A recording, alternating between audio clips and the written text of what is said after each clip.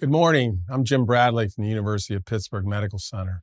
We're going to talk about rotator cuff repair and this new concept called the compression SpeedBridge. We have a patient with left shoulder pain, and he's 64 year old right hand dominant male weightlifter for many years with several years of shoulder pain. He acutely worsened this over six weeks. His resting pain, five to six out of 10, increases to 10 out of 10 with any kind of weightlifting activity.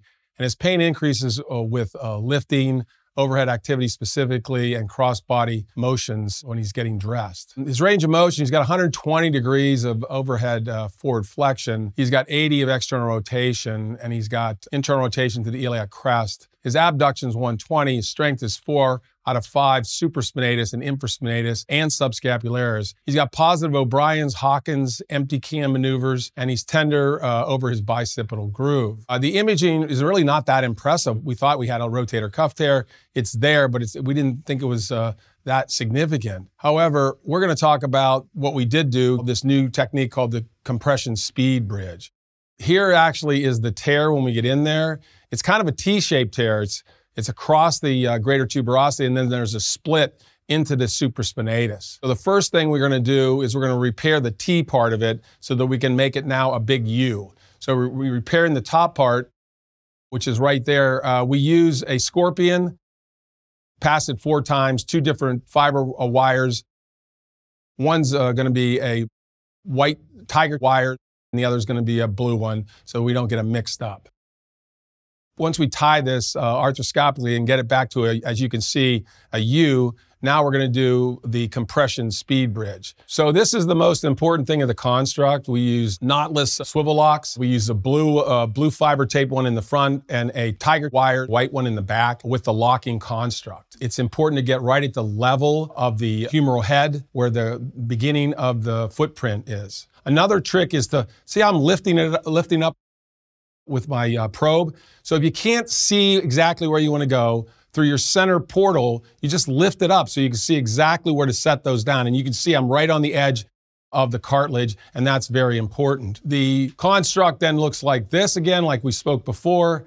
You have to make individual passes of each one. So number one, you're going to take all the mechanism and one of the FiberTapes, out the front. And I use collagen coated FiberTapes, by the way, all the time. Then you're going to take number two individually with the scorpion and make that a little more medial in the construct. And take number three, which is just a FiberTape, and we're going to make that more medially. And then we're finally going to take all four with a FiberLink out the back.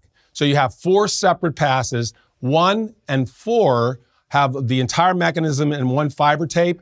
Two and three just have uh, an individual FiberTape at the junction of the, the muscle tendon junction of the rotator cuff.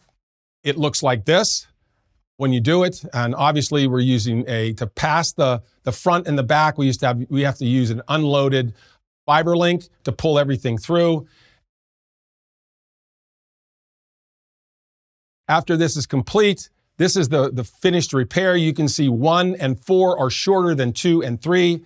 And once again, the most important thing in my mind are the cables. This, so an anterior and the posterior cable, I use links with to make sure that we have the anterior and posterior cable down. Arthroscopically, it looks like this.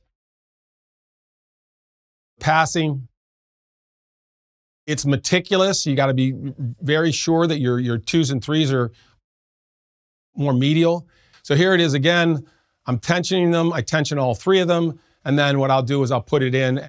The final construct looks like this, where you have anterior, posterior cable repair, you have independent passes of all the FiberTapes, and then you have the knotless mechanism over the top, pushing the, uh, the medial compression on the rotator cuff repair. The final construct looks like this, and then we're going to use the anterior loop suture, and we're just going to tension it down. Now, the important thing at the end of this is you want to use a knot pusher to really push it down and get some compression. And the, the final construct, you're going to be very satisfied. You simply cut it and then you rotate the arm through range of motion. And it's been, it's been very advantageous in my hands, especially for people with poor tissue. I'm using this on almost everybody, but poor tissue, it, it seems to grab the cuff and set it down much, much better. Thank you very much.